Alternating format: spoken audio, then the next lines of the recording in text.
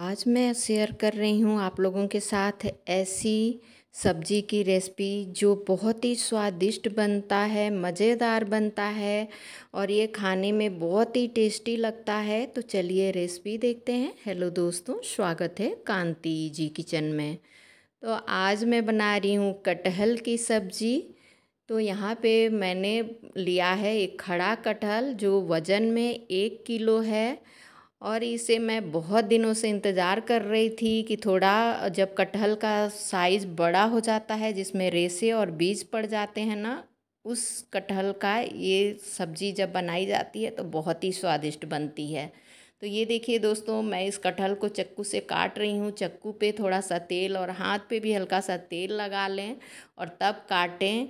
ये देखिए, इसके अंदर इधर से मैं दिखा देती हूँ कि काटने के बाद ना इसमें से जो सफ़ेद सफ़ेद दूध निकलता है, ये देखिए काफ़ी चिपचिपा होता है, जहाँ भी लगता है वहीं चिपक जाता है।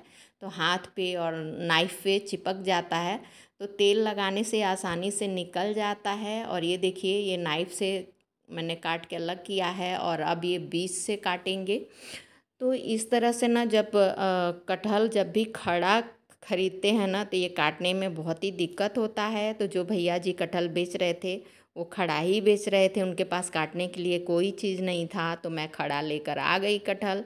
और ये देखिए इस तरह से नाइफ़ से नहीं कट रहा था तो अब हंसुआ से काटे जा रहे हैं। ये देखिए इसे आ, कितने आसानी से इससे कट गया ना? तो इसे हमारे तरफ़ तो हंसिया बोलते हैं। आपके तरफ़ क्या बोलते हैं मुझे कमेंट करके ज़रूर बताइएगा। ये देखिए इसे फटाफट से छीलना और काटना दोनों ही बहुत आसान हो गया है।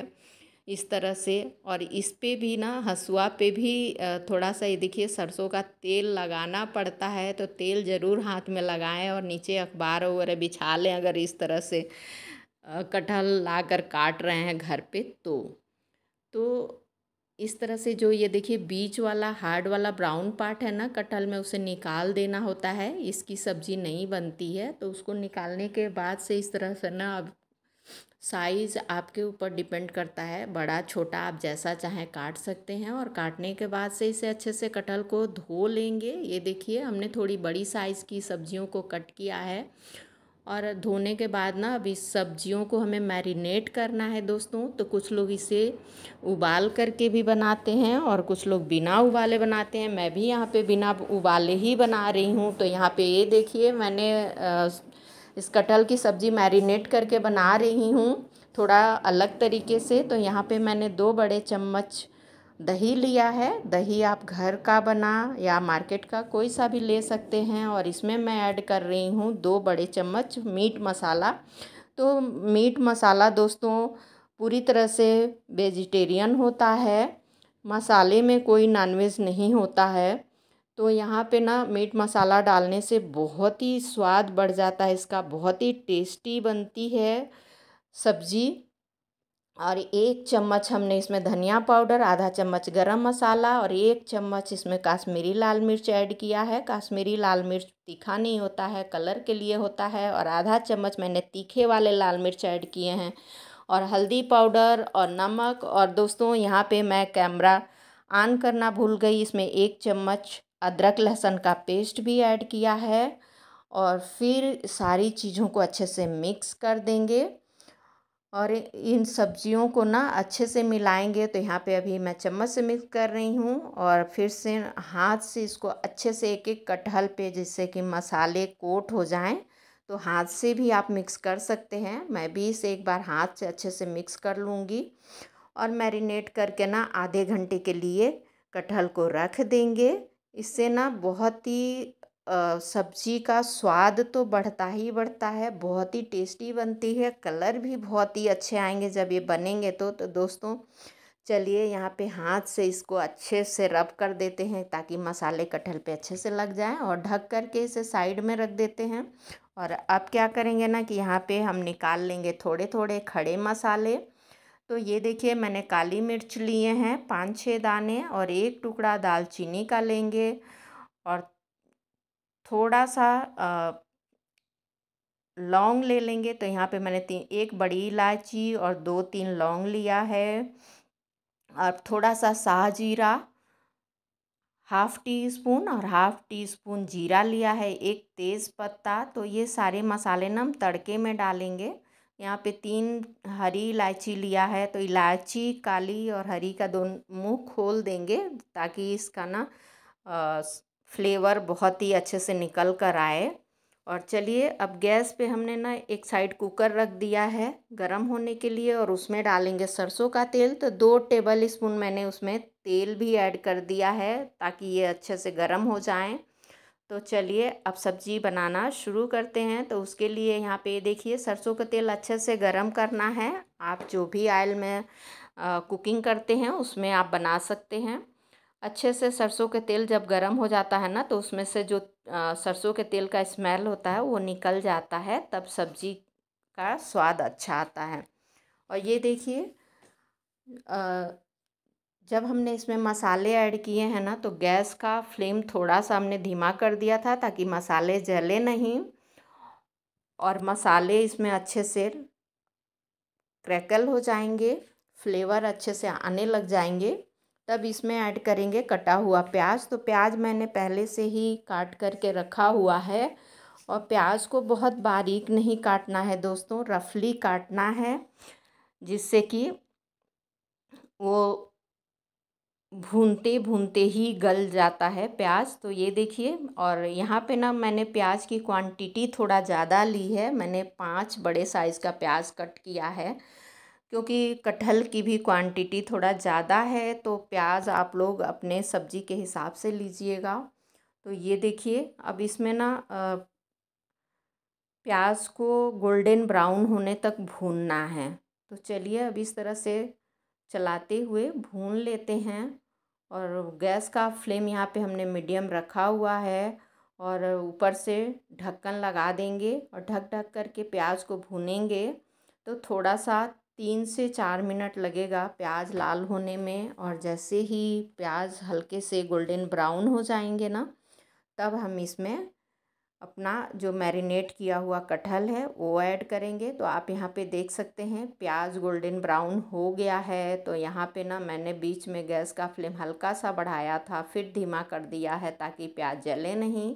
और अब इसमें सब्ज़ियाँ ऐड करेंगे। तो ये देखिए, इसमें मैरिनेट किया हुआ कटहल ऐड कर दिया है। दोस्तों, इससे पहले भी मैंने कई तरह के कटहल के सब्ज़ी अपने चैनल पे मैंने बना करके अपलोड किया है, आप चाहें तो देख सकते हैं। डिफरेंट डिफरेंट तरह का मैंने कटहल की सब्ज़ी बनाई है और ये रेसिपी भी अलग है। तो यहाँ पे ना कटहल ऐड करने के बाद से जो मसाले थे बोल में, उसे भी मैंने धो करके थोड़ा सा पानी के साथ डाल दिया है और मिक्स कर दिया है। और अब इसे चलाते हुए भूनेंगे तो जितना अच्छे से भूनेंगे धीमे आँच पर, कटहल और मसाले को। उतना ही स्वादिष्ट सब्ज़ी बनती है तो इस तरह से ऊपर से मैंने ढक्कन रख दिया है और बीच बीच में चलाते रहेंगे और भूनते रहेंगे इस तरह से। तब तक भूनेंगे जब तक कटहल में से तेल ना छोड़ने लग जाए और मसाले और कटहल अच्छे से ना भून जाए। तो आप देख सकते हैं, ये देखिए, जब भी नीचे जो कुकर में मसाले चिपकें तो उसे इस तरह से छुड़ा लेंगे, जिससे कि मसाले जलेंगे नहीं और गैस का फ्लेम लो टू मीडियम रखें। उससे सब्ज़ियाँ जलेंगे नहीं और अच्छे से भून जाएँगे। दोस्तों, ये देखिए तो इस तरह से ना कटहल को अच्छे से भून लेना है। तो ये भूनने में ही काफ़ी अच्छे से भून जाता है और इस तरह से जब भून करके अच्छे से सब्ज़ी बनाएँगे ना तो इसका स्वाद काफ़ी अच्छे से बढ़ जाएगा। तो आप देख सकते हैं, कटहल काफ़ी अच्छे से और मसाले भून चुके हैं, ये देखिए। तो भूनने में कम से कम तीन से चार मिनट लग जाता है दोस्तों। तो इस तरह से ना, हमने कटहल को भून लिया है। अब इसमें ग्रेवी के लिए पानी ऐड करेंगे। तो मैं यहाँ पे दोस्तों ग्रेवी वाली सब्ज़ी बना रही हूँ। आप इस सब्ज़ी को कम ग्रेवी में बना सकते हैं या आप ड्राई भी बना सकते हैं। तो यहाँ पे मैं थोड़ी ज़्यादा ग्रेवी वाली बना रही हूँ तो इसके लिए मैंने इसमें पानी ऐड कर दिया है और अभी भी मिक्स करने के बाद थोड़ा पानी मुझे कम लग रहा है तो थोड़ा सा और मैं पानी ऐड करूँगी। तो ये देखिए, इस तरह से जब भी आप लोग कटहल की सब्ज़ी बनाएँगे तो बहुत ही टेस्टी बनेगा। तो ये रेसिपी आप लोगों को कैसी लग रही है? अगर आप लोगों को अच्छी लगती है तो मुझे कमेंट करके ज़रूर बताइएगा।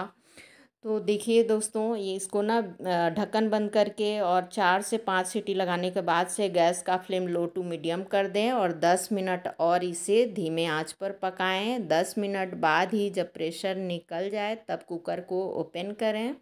तो ये देखिए, अब सब्ज़ी पूरी तरह से पक चुका है। ये देखिए और चलिए मैं ढक्कन खोल के दिखाती हूँ। ये देखिए, क्या कलर आया है? नाइस। बहुत ही अच्छा कलर आया है दोस्तों ये सब्ज़ी को पकने के बाद। और इसमें से खुशबू भी बहुत अच्छी आ रही है। और ये देखिए, मैं आप लोगों को दिखा देती हूँ कि कितना अच्छे से कटहल गल गया है। अभी काफ़ी गर्म है, छूने में गर्म लग रहा है। तो इस सब्ज़ी को ना अगर आप उबाल कर बना रहे हैं तो आप कढ़ाई में भी बना सकते हैं दोस्तों। मैंने बिना उबाले बनाया था, इसलिए इसे कुकर में बनाया है ताकि सब्ज़ी अच्छे से पक जाए। इस तरह से जब सब्ज़ी पक जाने पर आप इसे बड़े बोल में ट्रांसफ़र करें और ऊपर से हरे धनिया से गार्निश करें और इसे रोटी, पराठा, राइस किसी के साथ भी खा सकते हैं। बहुत ही स्वादिष्ट सब्ज़ी बनती है दोस्तों। तो इस तरह से बना करके आप लोग इंजॉय करें और यदि मेरी रेसिपी अच्छी लगती है तो फ्रेंड एंड फैमिली में शेयर कर दें और मेरे चैनल को सपोर्ट करना चाहते हैं तो सब्सक्राइब करना ना भूलें। Thank you